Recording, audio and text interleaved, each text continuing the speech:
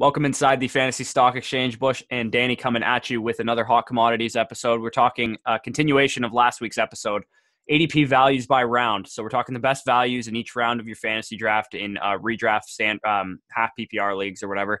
Uh, round seven through ten this time. We were originally going to do seven through twelve, but we had so many points on each guy that we just knew this video would be way too long, and we didn't want to overload your brains on this uh, Thursday episode. So, uh, Danny, how you doing before we hit the intro? Doing well, doing well. Yeah, as Corey mentioned, we just wanted to make it more digestible for you guys. Uh, a lot of big facts coming your way. We don't want you guys to be uh, a little overwhelmed by uh, just the greatness that we're about to present to you guys. So stay tuned. All right, cool. We'll hit the intro and then we'll see you guys on the other side. Are you ready, Jerry? I'm ready. Just want to make sure you're ready, brother. Show me the money.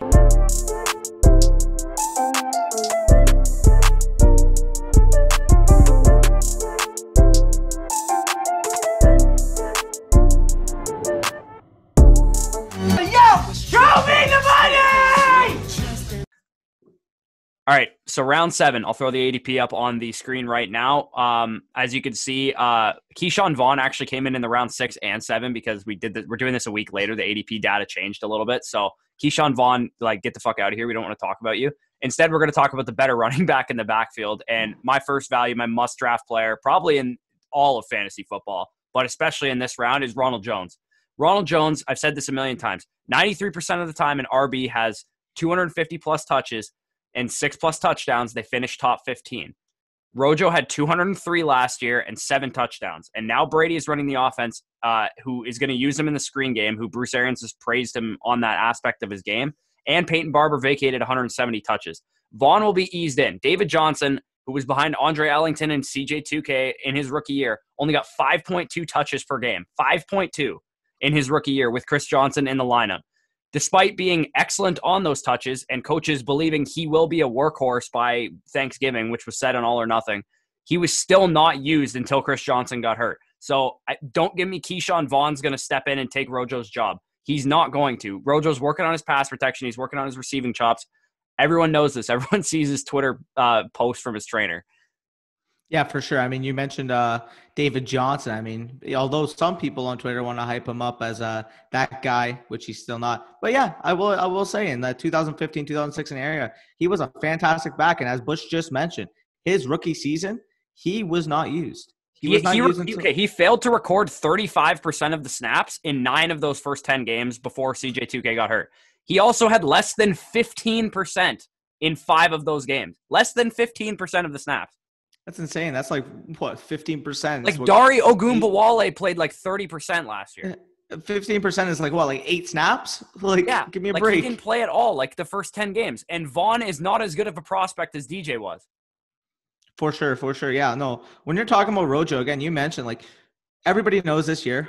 We mentioned in the previous video these this RB ADP for guys that you're, you're used to getting in the middle rounds they're simply going in the top three, top four rounds. So the fact that you're getting Rojo here at the seventh round, when some of the guys going ahead of him flat out are just so much riskier, He's so much less of a floor round pick like, by the time fantasy drafts come yeah, around. I, I mean, he was he used to be like a ninth, tenth rounder. Like that's so, insanity. And, and him and Vaughn are like I've gotten really close, and I think Rojo's actually surpassed him by most uh, standards by now. So I, I like Ronald Jones is is going to be a sixth round pick. I think by the time fantasy drafts come around is, is basically my point. Um, we can get into your for, uh, your first guy.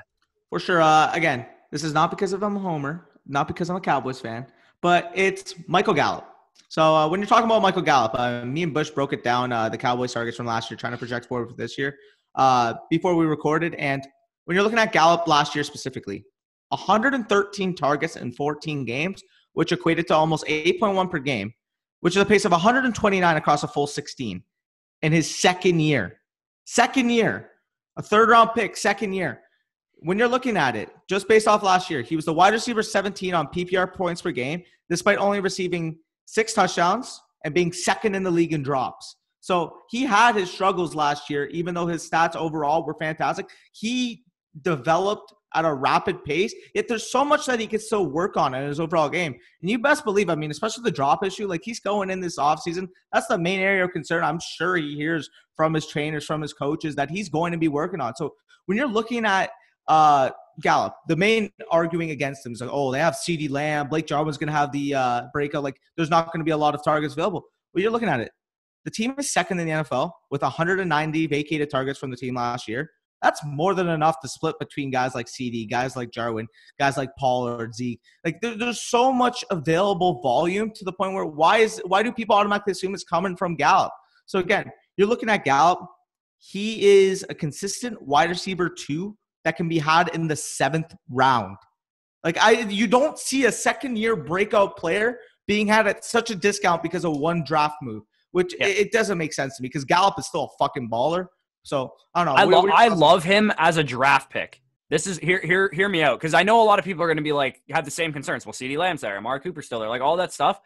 Michael Gallup is the perfect guy to draft, use for this first six weeks, and flip when because CeeDee Lamb's going to eventually uh, once he gets his legs under him and he learns how to like play NFL receiver or whatever, like Michael Gallup will probably be like a top like 15 receiver in fantasy at that point, and you could just toss Michael Gallup for I don't know whoever you want to trade for. If you want to get like J.K. Dobbins or something like someone who's going to be good in the second half of the year, I think he's like a perfect like seventh round pick because I've, I've said this a million times. Games at the beginning of the season matter. Your draft uh, should be how you're going to win at the beginning of your season, not how you're going to win in the playoffs. For sure. I mean, even just like mentioning for the whole season, like, yeah, I do think uh, it's going to take CeeDee time to develop. But even when he does, I mean, CeeDee can get the targets, but I mean, Gallup is still going to have so much available to him. Yet people just, people have to realize the Cowboys are going to score points. The Cowboys are going to have a lot of volume. And mm-hmm. depending on no matter who you have in that offense, they're going to get enough volume to be able to produce. You want pieces from that offense because that offense is going to be so efficient and so incredibly fucking high scoring this year that like ultimately you're getting a wide receiver two in the seventh round. To me, that's a no brainer. So, uh, yeah, I mean, I can't harp on Gallup enough. The fact that he's even falling this far after that such a good second year is mind boggling. Yeah, I actually, like I said, I, I love him as a target, especially when you're trying to win like early in the season and you just flip him for someone. But um, uh, next up on the list, we got uh, Deshaun Watson, and I tweeted this out, and some people mistook it for uh, David Johnson slander was when it was in fact meant to be Deshaun Watson hype. Um, so in the five games that the Texans uh, failed to rush for more than 100 yards, Watson threw the ball 38.5 times, which is a pace of 616 pass attempts. In the six games the Texans allowed greater than 30 points, Watson threw the ball 34.3 times to 549 tar- uh, attempts pace. Both of them happened twice, like both those two scenarios, in two uh, in two games in uh, in 2019. And in those games, he averaged 43 pass attempts. So my point basically is the defense got worse, like in, in Houston. The run game, much to people's chagrin in the comments, it got worse. Like Carlos oh Hyde gosh. as a better is a better pure runner than David Johnson. Yes, get yes. at me at the comments below. Give me all the smoke. David Johnson can't run the ball anymore. He's a great receiving back. I'm not talking about David Johnson's fantasy value right now. He's a great receiving back, but he can't run the ball. So yes, it's a downgrade from Carlos Hyde to David Johnson. Heck. Like Watson is, is an elite quarterback too. Let's not forget this. Watson is the third best quarterback in the league, in my opinion. So you're going to get 575, 600 pass attempts from an elite quarterback. I don't care who his receivers are. Kenny Stills is going to be involved. Like Will Fuller is going to be involved. Brandin Cooks, Randall Cobb, whoever it is, Watson's going to make them fantasy relevant because he's that good.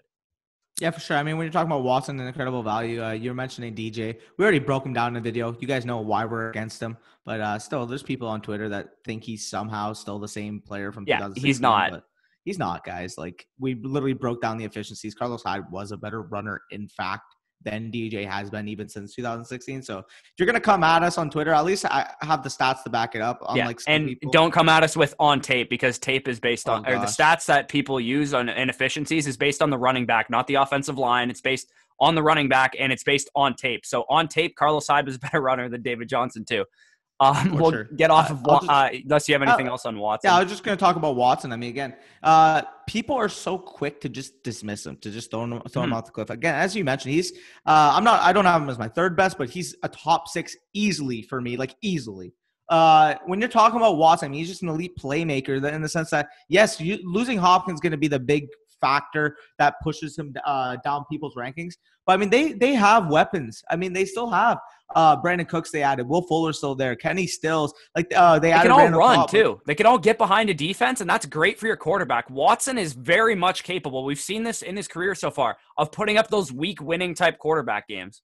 For sure. I mean, I, I love Watson, especially if you can get him at a value, as Corey mentioned. I mean, he's going what seventh round right now. Like that's Yeah. insane. For sure. He's like the only quarterback that I'm willing to take early. If he's there in the seventh round, I'm literally going to pick him every time. Yeah, I mean, like this guy was literally a fourth round pick last year, and he falls three rounds in ADP because people want to take shit running backs and want to factor him down for no reason. Like, give me For a sure. break, take that value.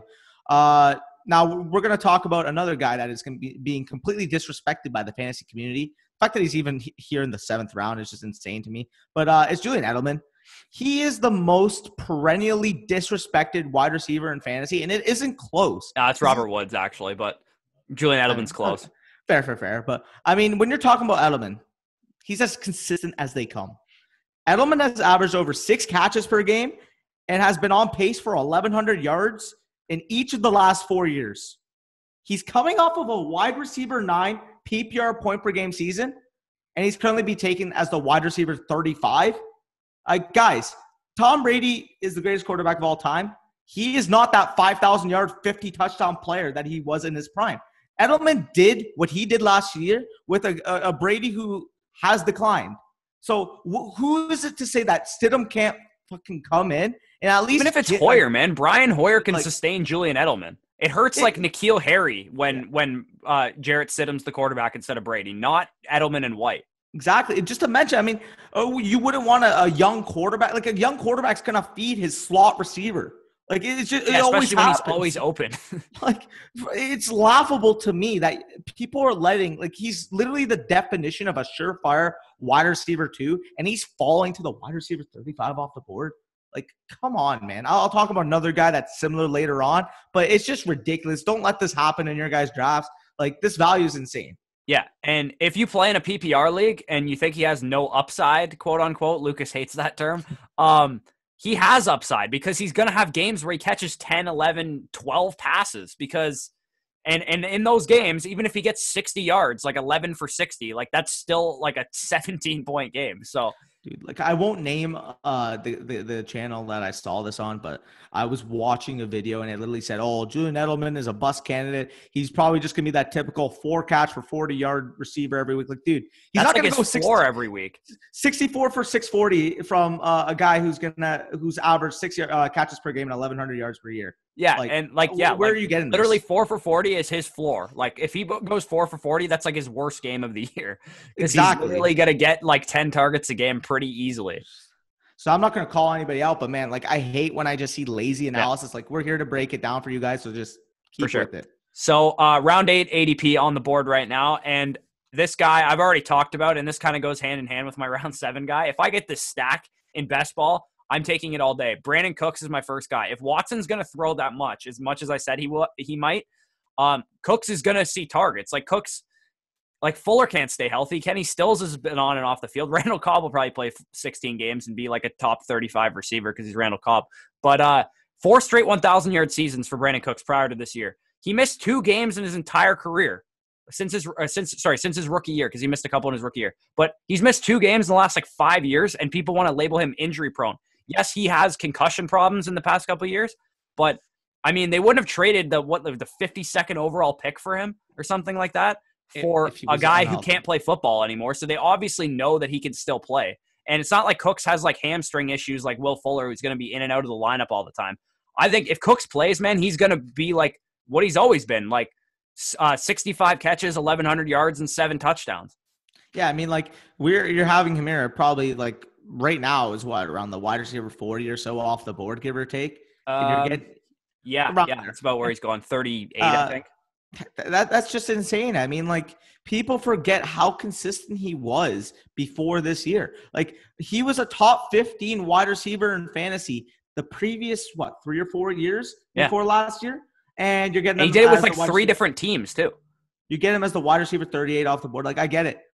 The risk is there because like oh it always seems like he's playing injured. I don't care. He's the wide receiver 38. If he doesn't hit, if he gets hurt, what are you losing? Like I don't understand people. Do they really know Stop what yelling. risk management? No, no, no. I get sorry. Do they really know what risk management is at this point? Because let's be honest here. If Brandin Cooks is going to play a uh, 16 game schedule, he's at minimum going to give you top 25 value. Yeah. And the fact that he can be had this low is just insane to me. His ceiling is pretty crazy too. Uh, he's never saw more than 129 targets, and that's like his highest target total of his career by like 15 targets. He's like 110, 115 target guy. If if Watson throws as much as I said he he will, there's possibility that Brandin Cook sees 140, 150 targets this year. Yeah, I mean, I agree. Uh, it's just he always fill this uh, fills this bill of just receivers that people for whatever reason forget similar to the guy i'm about to talk about right now and that's marvin jones. So when you're looking at marvin jones he had a wide receiver 8 ppr pace with matt stafford in the lineup last year and he can be had as the wide receiver 38 off the board right now. Like i don't where do you get wide receiver 8 pace with stafford to fall into wide receiver 38 so again I've said it multiple times on the channel. I love the potential of Kenny Golladay this year, but straight up, give me the five round discount that you're going to be had with Jones. Like it, eh, the discrepancy is ridiculous to me because their splits were literally identical with Stafford in the lineup last year. So I mean, when you're talking about Marvin Jones, you know what you're going to get with him. You're going to get 65 catches, you can get nearly a thousand yards, and you're going to going to get probably eight to ten touchdowns. He's going to give that if he stays healthy. And I mean, at the wide receiver 38 off the board with that guy with literal legitimate top 10 top 15 potential like it's a no-brainer. I don't again beats me i'm getting mad at the audience. They're not doing this.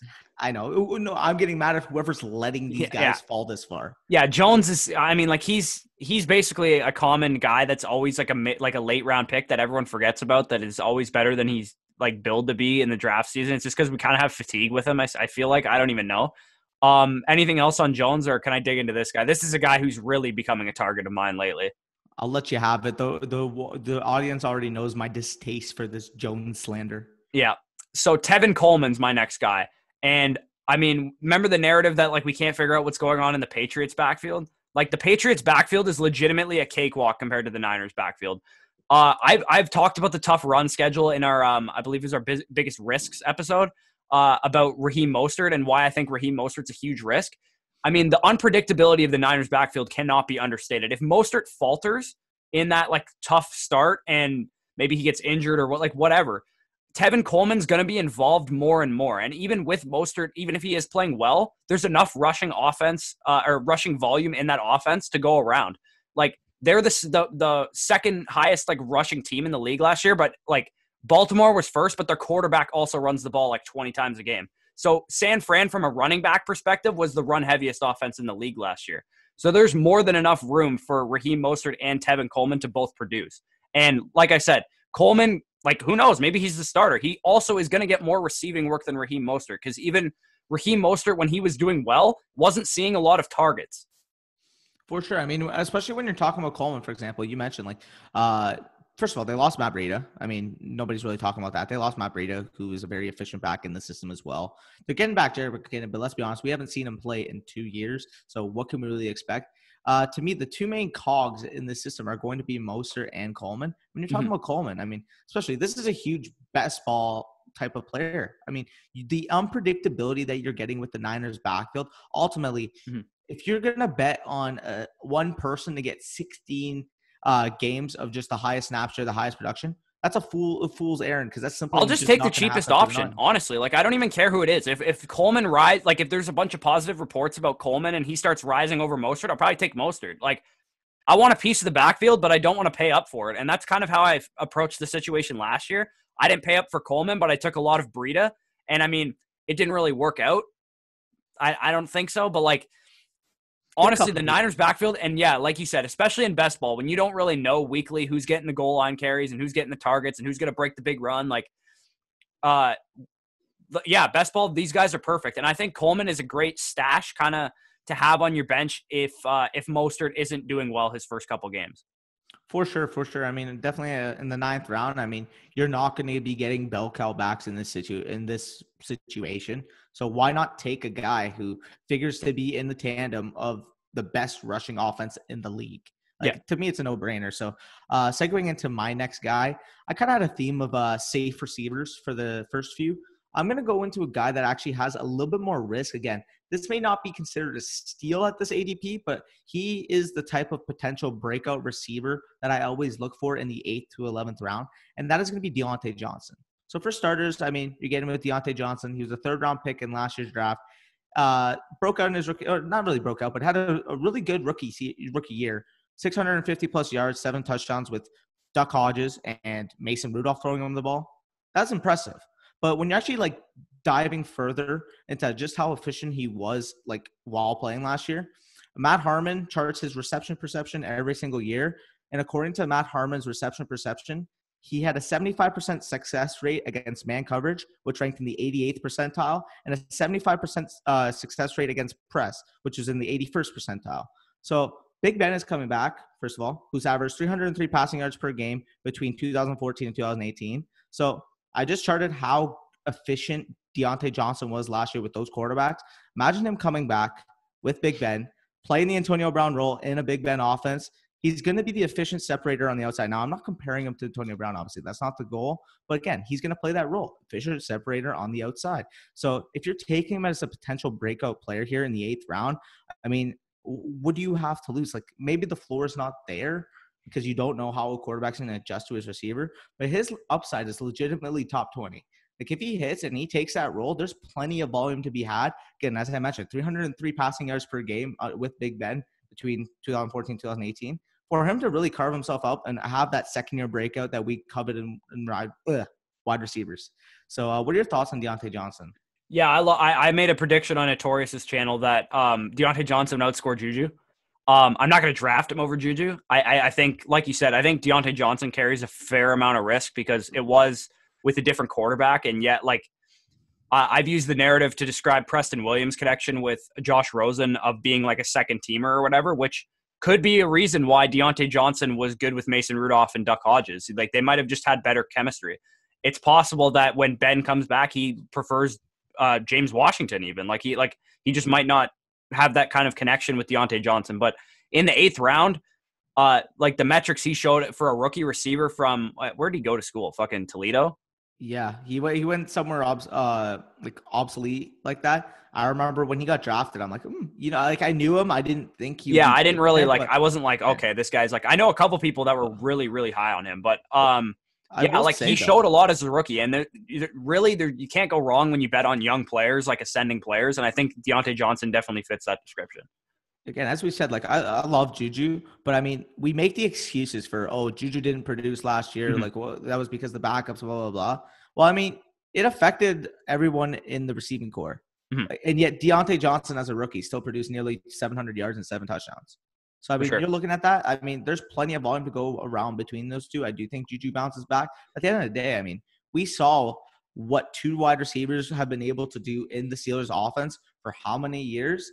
Who's to say that Diontae Johnson can't fill that role? Obviously, he's not Antonio Brown, but I can very well see an a thousand yard, nine touchdown type season yeah. out of him. So uh yeah, yeah. eighth round, take it. All right. So into the ninth round. This will be on the screen right now for your viewing pleasure. Uh we got Hayden Hurst up and everyone and their mother knows about Hayden Hurst. He's not a sleeper whatsoever. If anyone tells you he's a sleeper, they're lying because literally everyone in the fantasy industry is on this guy, and there's good reason for that. He uh, there's 258 vacated targets in Atlanta. You said the Cowboys had the second most in the league. Well, the most is Atlanta. So an offense that will throw the ball 600 times in 2020, you can book that in ink. They are going to throw 600 times. They will lead the league in pass attempts. I will put that in writing right now that they will do it. And uh, to top it all off, Dirk Koetter is is is dog shit for fantasy running backs, but he's a guru with tight ends. So, um, Hayden Hurst, yeah, like wh- whether or not he's whether he's talented or not, he's probably in the most tight end f- friendly situation in the entire league.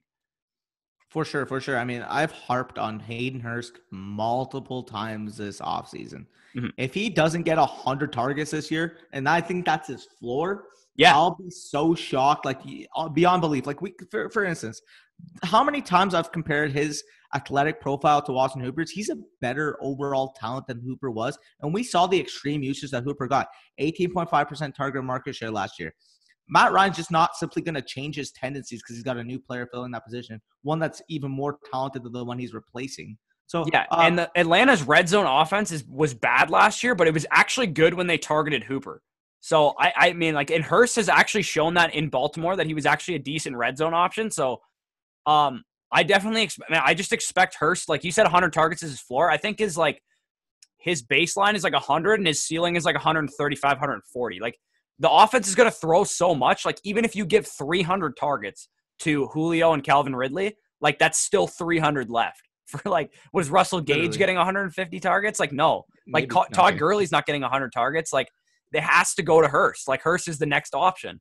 Realistically, here, I mean, when you're looking at projecting Atlanta for next year, uh, again, you mentioned it's going to be Julio and really we already know that. But aside from them, I mean, it's got to be Hurst. It's got to be probably a little bit of Gage. I mean, Gurley's going to get a little bit, but at the end of the day, you mentioned 600 at the minimum is probably going to be their passing attempts. I could very well see that like bold prediction, maybe hitting the 630 range. Like we saw yeah.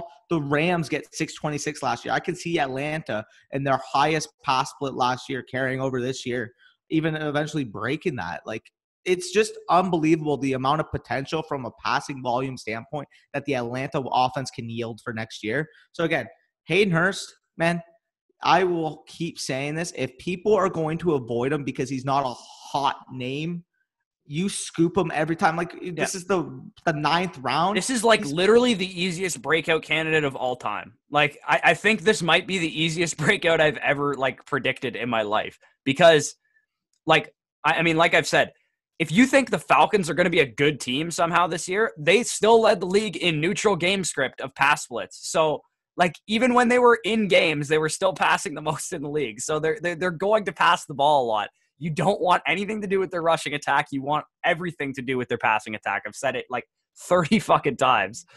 For sure. I mean, they're definitely going to be a fun offense to watch. Another one that uh, is actually going to be a fun offense to watch, but uh, potentially hurt this guy's value because of a big offseason trade. I mean, we all know the name now. DeAndre Hopkins is in Arizona. But I do think there is enough volume for Christian Kirk to really bring value back to you in the ninth round. So when you're breaking down uh, the Arizona Cardinals to begin with, we all know, uh, oh, they they reverted to the rushing attack once they got Kenyan Drake last year. But again, we've said multiple times on this channel, we do think that Kingsbury's preferred system is the air raid offense, is spreading everybody out, distributing the targets equally, and ultimately having a higher pass split than they showed at the end of the last season. Well, you're looking at that. An air raid offense means that there's not one specific target hog in the offense. There's not one 30%, 28% absolute target market share dog, but everybody's going to have probably around 25 to 18% in that range. So uh, when you're mentioning Hopkins, I do think he can produce, but again, air raid offense. When you're mentioning Kirk, you're looking at him just last season. 108 targets in 13 games, 8.3 per game. 133 target pace over a 16 game season. And ultimately, right here, I mean, in the ninth round, you're getting that's actually shocking. I actually didn't know that. That's like a that's like a like wide. It's pretty hard not to finish as like a wide receiver too if you're getting 130 targets. Exactly, and we mentioned before. I mean, we expect fully Kyler Murray is going to break out. DeAndre Hopkins is going to be good. Kingsbury system is going to be awesome. Why wouldn't the wide receiver two in that system be productive? I mean, we saw last year how many targets were available. For example, Terry uh, Larry Fitzgerald had over 100 targets last year. You don't think that's going to be a, uh, supplemented as he grows older between guys like uh, Drake, uh, Hopkins, like eh, that's they're going to equal themselves out. And ultimately, here, like I, w- I do think that Christian Kirk is at least going to get that 110 target baseline. And if he's doing that, I mean, he presents uh, wide receiver two type upside, and you're getting him as your wide receiver three. I mean, plug him into your flex every week. He's yep. going to provide a safe floor for you and ultimately upside in that good of an offense that we all expect to break out. So uh, you're getting Christian Kirk here. Great value. Ninth round. Don't miss out. For sure. Another great value. Um, Tom Brady. This this one is really confusing to me because if you look at this uh, ADP in this round, Carson Wentz, Drew Brees, and Aaron Rodgers are and, and Tom Brady are the four quarterbacks that have an ADP in this round. There's not a chance in hell I would take those other three over Tom Brady. Tom Brady, like as I mentioned, I've mentioned this a couple times. If you haven't seen uh, the Buccaneers preview I did with Evan Winter um, from Bucs Nation, he he also confirmed this opinion with me, and he actually covers the team professionally. He's not just like me. I pretend I cover the team, but um, Bruce Arians is is it's still his offense. It's not going to be New England's offense. I don't know why people think that. It's not going to be New England's offense. They're not going to sign a guy like James White and a guy like Julian Edelman just to run New England's offense it's far more likely, and Bruce Arians has literally come out and said this himself, that you can teach one of the smartest quarterbacks of all time a new offense with his influence, of course. They're not just going to like pigeonhole him in. They're going to want his input on what plays he likes and what like. But they did the same thing with Jameis Winston, so that to me is just kind of irrelevant. So it's way easier to teach that guy an offense and help him create it than it is to teach the other 10 guys on offense a whole new offense, even though they spent an entire year cultivating and, and learning how to play in it.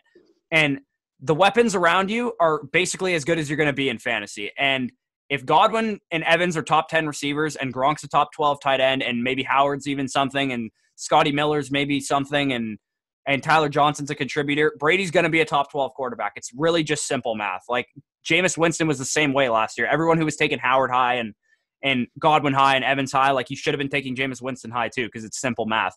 And again, like we've mentioned this before, Brady has never had weapons like this. Yes, he had Randy Moss and Wes Welker in 2007, but I mean, like Randy Moss, Wes Welker, and Rob Gronkowski weren't on the team, so you can add in one extra weapon. I think Brady could go nuts this year. Like he could absolutely snap. His ceiling is a quarterback one. Yeah, I mean, he again, you mentioned like those weapons coupled with the fact that in general, I mean, his floor is high as shit too. I think there's no way he's not a top 12 quarterback. I agree. I agree. I think I have him at eight or nine right now. Uh, his ceiling is even higher than that. Yeah, his ceiling is crazy. See, I really, I really like that value again, uh, especially if you're gonna take one of these middle tier quarterbacks. Don't be spending it on fucking like uh, Aaron Rodgers going. Yeah, no, in the same round. Like, do not take Aaron Rodgers over Tom Brady. God, or Brady. Uh, honestly, don't take Drew Brees over Brady either. I, I wouldn't take Drew Brees over Brady. Man, it's just it's just shocking to me that like that's the case. Like Rodgers is specifically just one that absolutely baffles me. Wentz too. What like Wentz is in a good off. Like Wentz has a kind of a good situation, but his weapons are nowhere near the Bucs' weapons. For sure, for sure. Uh, again, transitioning now, we're going to be talking about the tenth round. We we both love Brady and his potential next year, but yep. transitioning to the tenth round, I'll start this one off. Uh, I actually have uh, two guys I'll get into that we've talked about a lot on this channel. The first one I'm going to bring up is uh, Mecole Hardman. Uh, again, I will acknowledge he is a risk because we don't know how the volume is going to translate. We don't know how much he's going to get. Uh, and again, at the end of the day, I mean, if you don't have enough volume, like you can't be viable. But when you're looking at it in the 10th round, you're getting a potential wide receiver two type upside. I know I've said that a lot this episode, by the way. Uh, in the 10th round, I mean, you're looking at, first of all, when you get with Mecole Hardman, he was first in yards per reception, first in yards per target, third in target separation, first in quarterback rating when targeted, and first in fantasy points per target.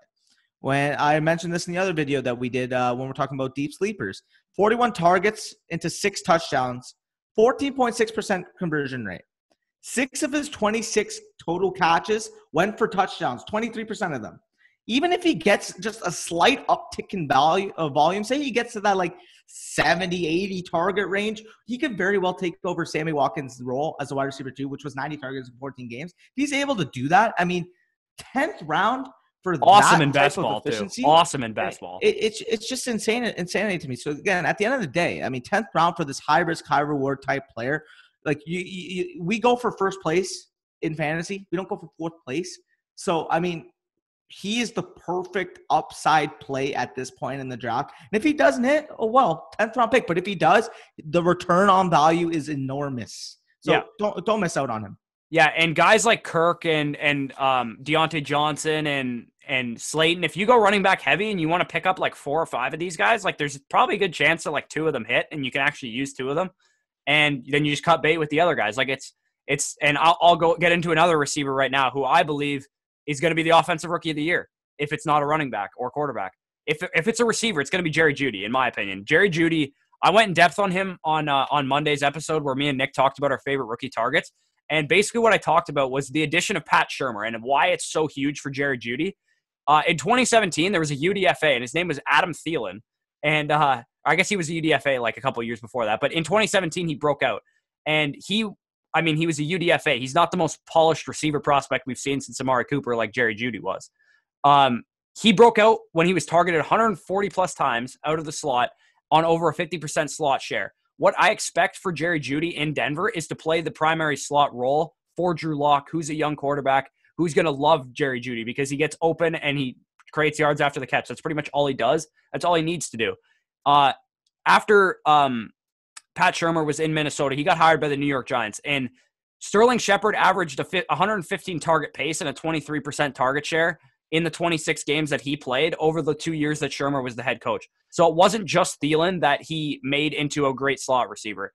And yes, Shepard was already good before he got there, but his volume actually increased and his slot percentage and all that stuff increased. So, uh, yes, Sutton is there too. I understand that, but the volume should be there for both guys. And they operate in different areas of the field anyway. Like they're not going to be competing for the same targets. Jerry Jeudy's going to be taking away targets from guys like Melvin Gordon and potentially Noah Fant and DaeSean Hamilton and stuff. And while Courtland, Courtland Sutton is pretty much just going to get all the downfield work. So, uh, yeah, like I, I just think Jerry Jeudy is primed for a, a, like an awesome year because people just kind of forget. And we did this with AJ Brown last year. How good AJ Brown was for how long in college matters. Jerry Jeudy was good his freshman year. He's got a lot of football under his belt, and I, I don't think he's going to be afraid of the big stage at all in the NFL. Yeah, I fully agree. I mean, I, I really like Jerry Jeudy and his potential year one. Again, if we're talking from a dynasty perspective, obviously my my boy CeeDee is number one. I have when we're talking about, I have Ruggs higher in both, but but uh, Jeudy is, well, is I know. Just talking about yeah, yeah. I mean, just talking about Jeudy, Like, uh, I just wanted to mention that when we're talking about Jeudy versus Lamb versus like even other guys that people want, like Justin Jefferson, I do think that Jeudy can seamlessly transition into ultimately, as you mentioned, a really high target role. I mean, Pat Shurmur is known for having offices that just sling the ball. I mean, we saw it again, as you mentioned. Minnesota when Adam Thielen broke out. We saw it last year in the uh, on the Giants. I mean, and Case Keenum was the quarterback of that team too. It's not like they had like some elite. Like it wasn't even Kirk Cousins then. Like Drew Lock only has to be Case Keenum, really. For sure. I mean, and Drew Lock, uh, we're we're talking about him. I mean, fuck, he he has potential to seriously develop into a really good quarterback. And ultimately, here, I mean, I wouldn't be surprised if Jeudy and uh, Sutton both got around 120, 130 targets. I yeah. mean, there's going to be that much volume to go around. So uh, when you're getting Jeudy again, as you mentioned, he's going to play that slot role. He's going to play that Emmanuel Sanders type role for that offense.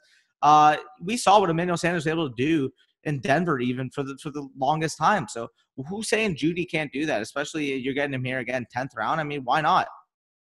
For sure for sure. Uh, tr- again, transitioning into uh, my guy, my my final guy for the episode. Corey's going to have one more after this.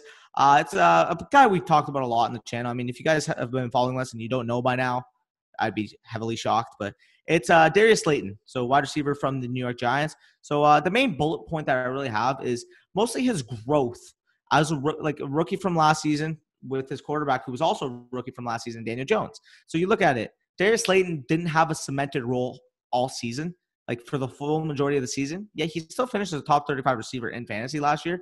So when you're looking at Darius Slayton again, the, the, the risk may be a little higher simply because there's mouths to feed. But man, if he's able to establish himself again under Jason Garrett's lineage as a guy who loves having his outside wide receiver one produce in a fantasy perspective, Darius Slayton can easily step into that role and give you a top 20, top 25 type upside, especially if he's able to establish himself and his connection with Danny Jones. Again, risky pick, but in the 10th round, as I mentioned, we go for high risk, high reward players that will pay off. So if you're getting this guy and he gives you wide receiver two type value, I mean, you're getting a steal. So uh, I know Corey loves Darius Slayton. You want to you want to touch up on him? Uh, not really. You basically summed it up. He's just gonna again, like I, I pretty much said the same thing with Hardman. You can't go wrong betting on and uh, Johnson too. You can't go wrong betting on young receivers who showed potential, especially as as rookies. Like Darius Slayton was one of like four guys who was a top 35 receiver last year, uh, who was a rookie. McLaurin, um, AJ Brown, and, and DK Metcalf being the others. Like you want guys like that. Like you don't want guys on the decline. You guys, you want guys on the upswing. So uh, I definitely agree with the Slayton pick. And into our last guy, this is a very obvious name for a lot of people, and it's Alexander Mattison. I mean, he's the second best handcuff in fantasy football behind Kareem Hunt, of course, and he's going to have standalone value as well. Um, I mean, I don't know really what to make of his ADP because it's all going to really depend on what the Dalvin Cook situation is. If Dalvin Cook is there, uh, Dalvin or Alexander Mattison might go a bit later than this. He might be like 11th round pick or something. But if Dalvin Cook holds out, he's going to be like a fourth, fifth round pick if I had to guess. 100%. I mean, we saw what he's able to do in small spurts last year. Again, you mentioned the standalone value. Like there was times I was a Dalvin Cook owner last year, man. There was times where you see them both on the field, they look the same Like it, literally yeah. the exact fucking same. So you see fucking Alex Mattison running for a touchdown. I'm like, let's fucking go, Cook touchdown. And I'll see, oh my god, that's not 33, that's 25. Fuck sakes. Yeah. But uh, yeah, you're mentioning Mattison. I mean, he fits that Viking system perfectly. And if anything were to happen to Cook, say again, for example, the holdout, or he's a very, uh, in, I don't want to say injury prone, but like he's kind of that at this. Point he's point. prone to injury, uh, is what you're saying. Yeah, yeah. You know, I, I don't want to put labels, but I mean, I'll put a label. uh, Alex Mattison can easily step in and provide you top ten type, uh, type upside in a week if Cook ever goes down. So getting him here again in the tenth round, as I mentioned, like that's uh, as such low risk at this point that like the upside's way worth taking him here. So again, if, instead of taking those like crappy fucking mid round running backs, just stack up a couple at the top and then take upside plays here. I mean, that's your best bet. So I definitely like the Mattison pick. I think that's a very good uh, value here, especially in the tenth round. For sure. Um, all right. So thank you guys for watching. Make sure you guys like, um, comment, subscribe, hit the bell, uh, to get notified when we upload videos. We upload a shit ton if you haven't noticed by now. Um, give us your favorite uh, ADP picks. I'm probably going to get some hate in the comments over David Johnson. I'm kind of used to it. Uh, yeah, pretty much. Uh, make sure you guys are jo- join up in the Discord too. We don't we don't plug that enough. We want to get as many people in there as possible. We want to give you guys as much advice as we can about dynasty, about redraft, about I don't know best ball, like whatever you want to do. We're always dropping uh, drafters mocks in there too, and uh, make sure you guys if you sign up for drafters to do best ball mocks, make sure you guys use our code. We're the little guy. Don't use the big guys' codes. Use ours. Um, so uh, without further ado, guys, uh, take care and enjoy your Thursday. Peace out, y'all.